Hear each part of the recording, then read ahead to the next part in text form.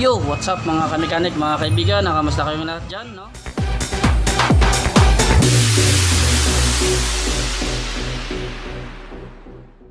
Ah, meron na naman akong isi-share sa inyo na mga kunting kalaman or tips na kadong matutunan mo sa maikling panahon. Okay?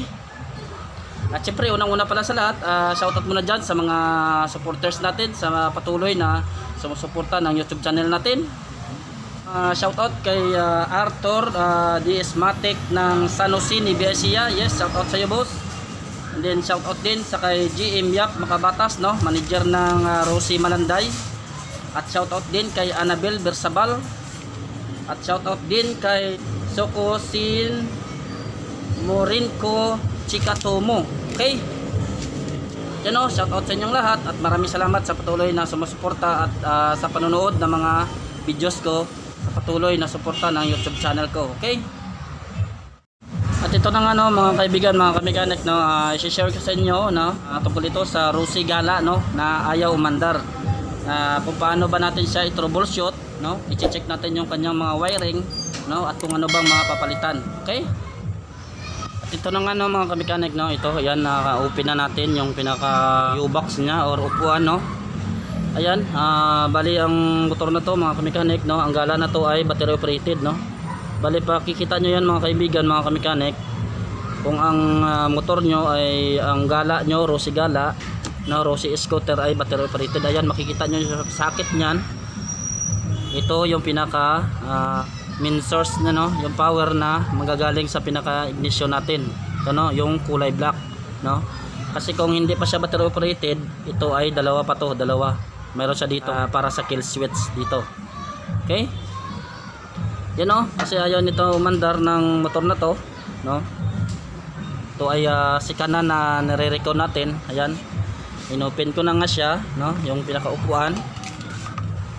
Siyempre, ayan, uh, yan naka-on na rin yan. Ayan, naka-on. Tapos naka ano din yung uh, engine stop niya. Yan, pinapadyakan natin, no? Pinapadyakan, inayos na rin natin yung pinakapadyakan niya, no? Kasi diyan nga hindi bumabalik. Yan. Na kahit anong padyak natin ay kahit redondo wala, no? Siyempre, ang una natin i-check, no? Yung pinaka basic na kung ang motor natin ay tumirik o aray, ayaw umandar no na sa kalsada tayo siyempre titingnan natin yung pinaka ah, high tension wire nito no ng ignition coil no napapunta siya sa spark plug okay at yan no siyempre ito tatanggalin natin yung pinaka spark plug cap nya yan madali lang naman magtanggal yan diroscas lang siya no kasi yun nga ah, may screw siya sa loob yan, ayan may screw siya.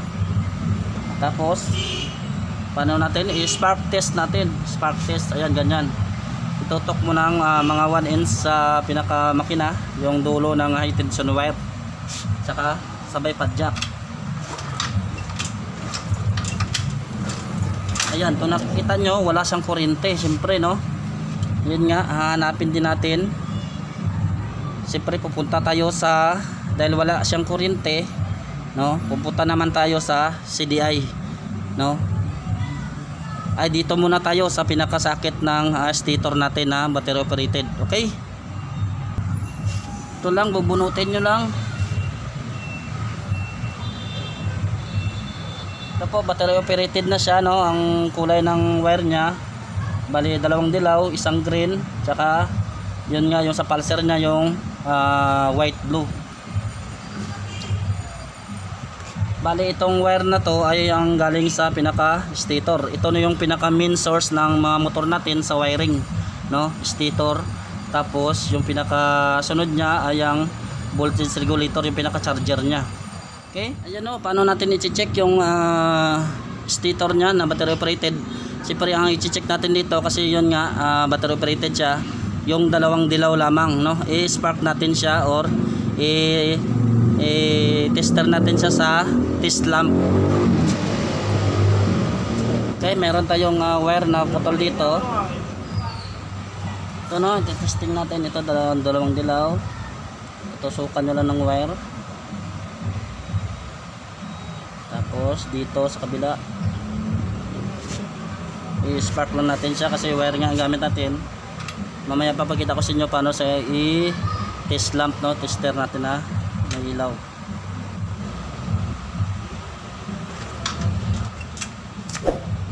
Yan kung nakikita nyo may spark siya.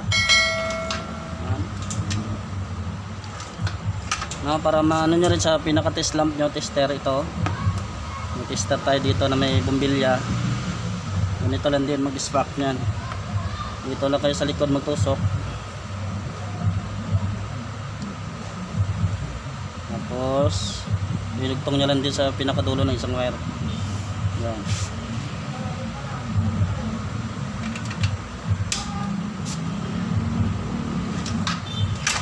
Okay kita nyo yan meron siyang kuryente dyan no ah, ibalik na natin siya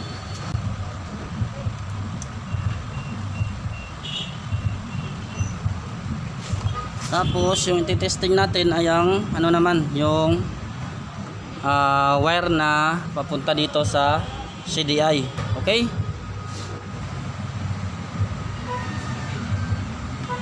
Ito yung pinaka kulay black, black white sa mga gala, black, white pero sa ibang mga motor natin na battery operated na basta rose, no, kulay black man siya na plain. Okay? Paano mag-testing? I-test lamp lang natin ito. Yan. Ito nga may tester tayo ito. Tusukan na natin sa dulo. Yan, sabay ground yung isa, saka kadyakan uli.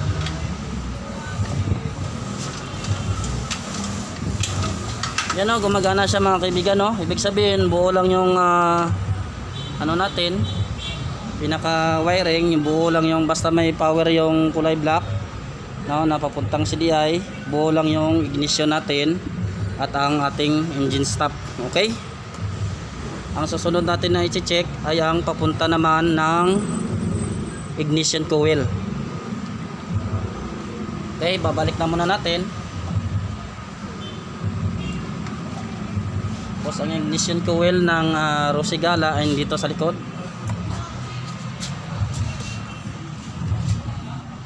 Ayan ito ito kung makikita nyo no? Bali meron sang wire dito na ah, yellow tsaka black. Ito galing sa CDI at saka yung kulay green yung ground okay? Dito tayo mag ah, testing no? I-spark din natin sa mga kaibigan no yun ito yung wire na ah papunta sa ignition coil no? Na ito nga eh, bibigyan niya ng power no? Yung high tension wire. Ito naman yung kulay black na may rebite na yellow no? Yan yung gagaling sa CDI ito CDI no? Ito lang yung i-spark natin i-spark test. Hindi natin sa mapapagana yan sa test lamp no? Kailangan natin sa i-spark sa body ground. Okay ganun lang. Kunin nyo lang ang wire tapos i-spark nyo lang dito sa body. Titignan natin kung may kurente or wala. Okay? Padjak yan wala.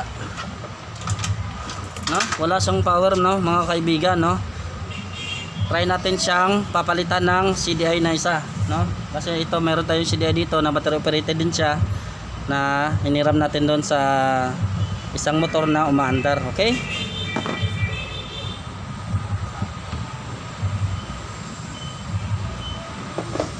na basta yung isasalpak nyo rin no, mga kaibigan ay kailangan battery operated din siya. Kasi pag hindi sa battery operated may tendency na siya ay puputok. Okay masusunog to. No, spark test natin uli. Yung pinaka papuntang ano ah, ignition coil. To yung yellow tsaka black. Yellow black. Ayan no wala talaga siyang spark no mga kaibigan mga mechanic. Ibig sabihin yan ah, dahil nga ah, buo buo lang yung ah, stator natin. Ito buo may kuryente siya yung dalawang dilaw. Tsaka yung CDI nya may power din yung kulay black. Ito yung white black. Na battery operated may power din siya buo. Ang pina tapos yun nga wala sang ilalabas dito na power no papuntang ignition Ah, isa lang yung pinaka may diferensya niyan mga kaibigan no. Didiretso na tayo sa pinaka pulser no. Pulser ng stator. Kung alam nyo ano ang trabaho ng pulser, yon yung nagti-trigger no ng andar ng ah, motor no doon sa magneto niya nagmamagnet para ah, makontrol na yung minor ng ah, mga motor natin o arang kuryente no na pinapalo no binibigay niya doon sa pinaka spark plug okay paano natin i-check yung ano ah, sa pulser no ito yung kulay blue doon tayo pupunta sa gilid sa pinaka magneto okay Ayan no, nandito na nga tayo sa pinakagilid no, sa pinaka pan, ito magneto. Ito yung pulser niya mga kaibigan no, ito. Yan tatanggalin natin diyan. Bali tinanggal ko na yung cover no. Tinabi ko na. So yun nga, ah, binaklas ko na siya kanina tapos ito nga i-share ko lang sa inyo kung paano ba ah, palitan yung pinaka pulser niya. Okay? Pag ganun nga nabuo yung kuryente ng CDI, no, papuntang CDI at buo din yung wire na dalawang dilaw na galing sa stator. Okay? Gagamit lang tayo ng uh, T-Rins na 8 para tanggalin yung pinaka tornilyo ng pulser. Okay? Ito lang.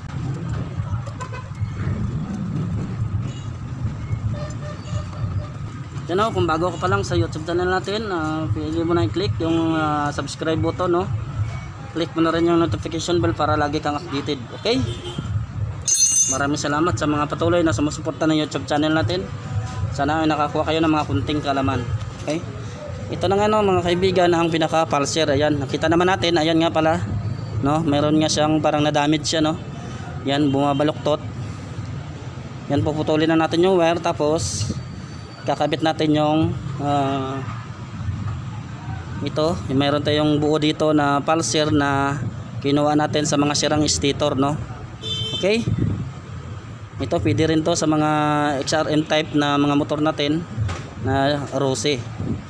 Kasi yun sa mga TC, sa mga SSX, no, dalawa yung wire nila mayroon siyang ground, no. Bali dalawa yung wire ito sa mga scooter saka sa mga maliliit na ah, like MP or DL100, no. Ganito din yung pulser. Kaya hindi na natin kailangan magbili ng bagong stator, no. Kasi meron naman nabibili nito lang na tingi. Okay? Pinaka pulser. So tatanggalin na natin. At idudugtong lang natin yung pinaka-pulser natin na buo. No, ito na yung ito yung pulser na nasa kanya. Yan no, may damage nga siya mga kaibigan no, mga kamekanik. Ito ikakabit na natin yung pinaka-pulser na buo na kinuha natin sa ah, lumang stator. Kaya kung may mga luma kayong stator diyan tapos may pulser siya na kunwari na damage lang yung bina mga magnetic wire ng stator, pwede nyo pong ikat yung pulser kasi magamit nyo rin yan balang araw. Okay, Ah, lalagyan lang natin siya ng ah, electrical tape. Yan na, ganun lang magbalik natin. Ganyan lang yung forma niya. Kailangan dito sa naka-trigger mamaya sa pinaka bakal ng magneto. Okay, diyan kasi siya mag-trigger. Yung pinaka ito niya magnet. Ito pinapakita ko lang sa inyo kung ano ang function ng ah, pulser no. Anong function niya sa mga wiring ng motor natin. No? Saka pinakita ko sa inyo na kung paano ang mga paraan na kailangan hindi na hindi mo na kailangan bumili ng bagong stator.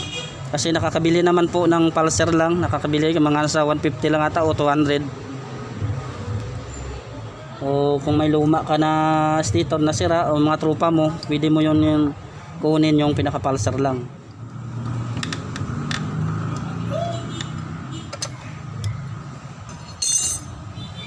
Diyan no, nailagay na natin mga kabigan, mga kamekanik no. Ah, kaya mamaya na natin sa isasarado. Okay? I-check muna natin uli.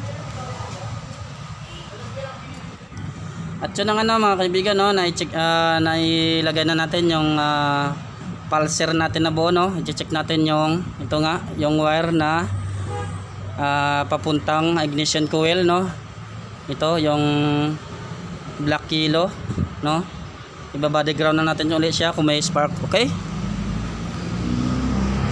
hindi na tayo magche-check dito sa pinaka stator niya kasi na-check na natin kanina niya nabuo nga lang siya tapos dito sa may wire ng CDI no buo lang naman siya yung inaano natin dito yung pagpunta namang spark plug o ignition coil ito.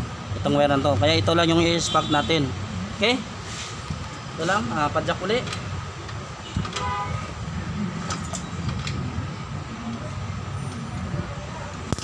Ayan nakita nyo mga kaibigan mga mechanic yan yung ah, uh, kurente na lumalabas. Ibig sabihin buo na yung pulser na kinabit natin. Okay? Isasalpak na natin sa likod.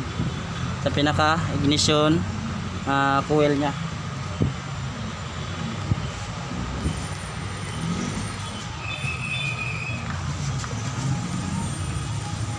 Ayan, ito no, ito yung kulay green. Ibig sabihin niyan ay ang pinaka common yan ground, no? Na mga China motor, okay? Ito dito lang siya sa color code niya. Tapos itong ah, black yellow dito yon sa pinaka power niya, okay? Yun, start na i-check natin uli yung ah, wire niya, yung high tension wire, no? Yun naman ang iti-testing natin yung high tension wire na papunta sa spark plug, okay? Ito yun. Chinik natin kanina. Kasi yun nga, na-check na natin yung wire ng ignition coil. No, buo na siya. Ito naman i-check natin. Pag ito nagkaroon na ng kuryente mga kaibigan, ibig sabihin, kaya niya nang paandarin yung motor. Basta may gasolina lang. Okay? Natin, padjak. Ayan, nakikita nyo mga kamekanik. Mga kaibigan. No, napakalakas ng kuryente niyan. Kaya hindi mo siya pwedeng hawakan dito sa dulo kasi yun nga mangangagat din siya no kasi yun nga malakas yung pinaka power niyan okay lagyan na natin yung spark plug cap saka itutusok na natin doon sa pinaka spark plug niya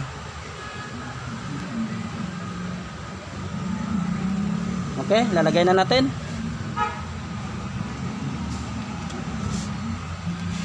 ayan ay lagyan na natin start natin yung motor kung gagana ba Check. Ayun, nadali no mga kaibigan, mga kamikanik. Ayan, umandar. Ayan, kung nakikita nyo, ayan, gumagana yan mga kamikanik, mga kaibigan. Ayan. Okay, magagamit na natin uli yung pinakamotor.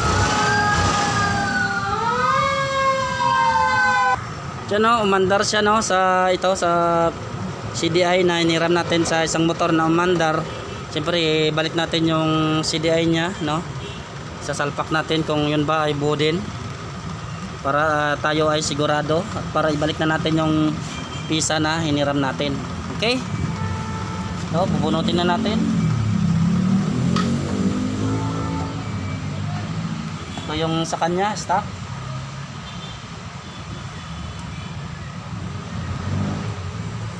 Okay? Start natin ulit. Ayan, gumagana na siya mga kaibigan. Ayan o, gumagana lang siya. Yung CDI niya buo lang. Ayan. Okay. Ganun lang po ang basic na mga paraan kung paano ba tayo mag uh, troubleshoot ng wiring ng motor natin. Kunwari, ah... natirikan tayo sa kalsada na alanganin, walang mga shop na malapit, no? Pwede natin ah, magamit yung mga ganong mga ah, basic na mga technique. Okay? Check the ano, high tension wire yung papunta sa spark plug. Siyempre, check mo kung may kuryente siya na kailangan ni ah, ilayo mo lang konti sa makina, wag mo siya ididikit, no? Kailangan naka-clearance lang siya para makita mo yung kuryente na pumapalo. Kung mayroon naman siyang kuryente, siyempre ibig sabihin check mo na rin yung pinaka spark plug, no? Ah, mayroon naman tayong mga videos dyan na kung paano natin uh, chine-check yung ah, function ng spark plug no? Okay? At yan ang ano mga kaibigan no? Mga mechanic no? At maraming salamat sa patuloy nyo na sumusuporta sa youtube channel natin no? Mayroon din tayong facebook page na Japs Mechanics no na doon ko rin ina-upload yung mga videos natin na hindi mapapanood ng mga ibang ah, follower natin sa youtube no Ah, doon natin ina-upload sa Facebook page. Okay? Maraming salamat sa patuloy na suporta. Maraming salamat sa 5,000 subscribers, no? Alam ko at ah, may mga konting kaalaman din kayo na mga nakukuha sa mga videos natin, no? Yeah, minsan may mga ang mga videos ko po ay naka-mix po siya, no? Meron tayong ah, travel vlog, no? Saka moto vlog, no? Okay? At na nga, ah, mandar na yung motor na paano magpalit o mag troubleshoot ng pinaka ah, pulser ng mga stator natin okay At yun na nga, maraming salamat sa inyong lahat at ah, keep safe all and God bless us.